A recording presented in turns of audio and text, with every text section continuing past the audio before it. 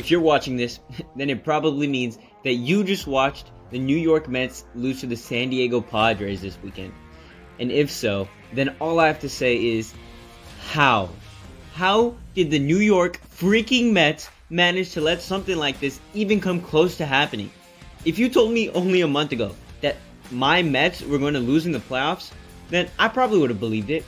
But if you would also said that the Mets were not only going to lose in the playoffs, but that it was also going to be in the wild card round, I would have put you in a mental institution on the spot just for saying something absolutely insane like that.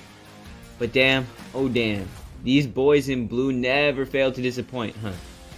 God, don't even get me started on the Mets looking like an absolute clown house trying to check Musgrove for illegal substances. Like, come on, Buck. Just because Musgrove was cooking you for six innings doesn't mean he was cheating. It just means the Mets suck. These guys led their division on April 12th and held that lead all the way up to October 1st, with only one day being an exception during that period.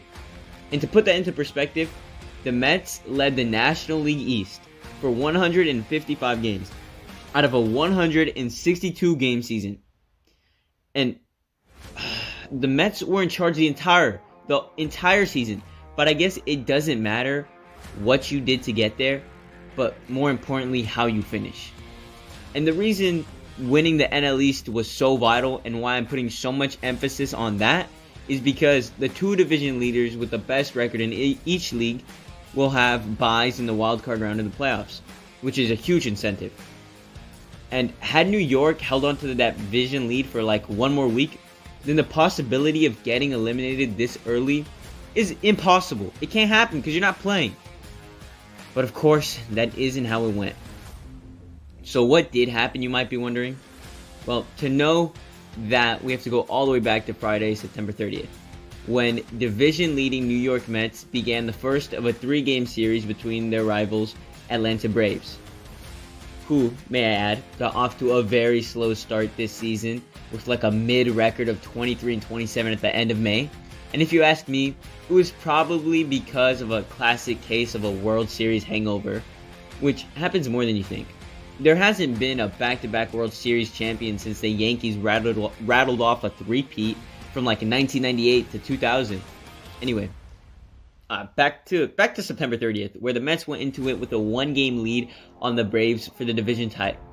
So the only thing that needed to happen for New York was for the Mets to take two or at the very least, and I mean very least, one game in that series.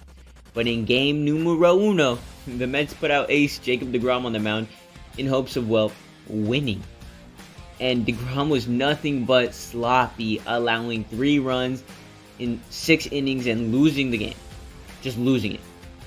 And the pattern would continue to follow as the Mets allowed four plus runs in the next two games, while also giving up two home runs to both Dansby Swanson and Matt Olson. You know, it's crazy. They, they did two different two different players.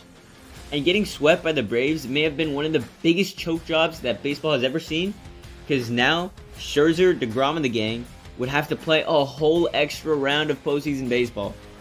And even though they sold versus Atlanta, the choke job was nowhere near done because they still had an entire best of three series versus San Diego.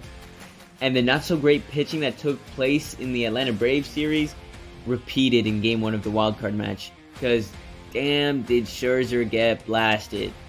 The supposed ace ended up allowing seven runs, seven hits in four and two thirds innings, while giving up like four home runs to four different people. Four! Four! and that doesn't mean the offense is off the hook though because the Mets only produced a total of one run in the games they lost.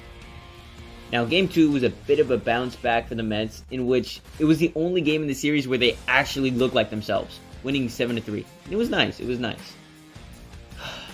You know, you know what happened in game three? San Diego got to work on both sides of the fucking game. Not only scoring six runs, but allowing one hit. One. It's so poetic that the last play of the season for the Mets involved Starling Marte tripping over himself like the club did for the past two weeks. Anyway, that's it, guys. And if it sounds like I'm disappointed or angry, it's because I fucking am.